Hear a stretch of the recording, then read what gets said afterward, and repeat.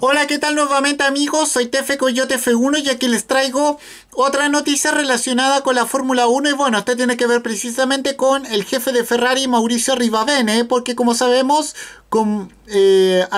se disculpa por llamar mayordomo al al piloto finés de Mercedes Valtteri Bottas y bueno,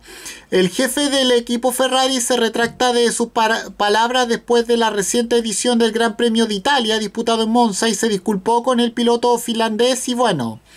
con esto me despido, nos vemos adiós, que me fuera, chao.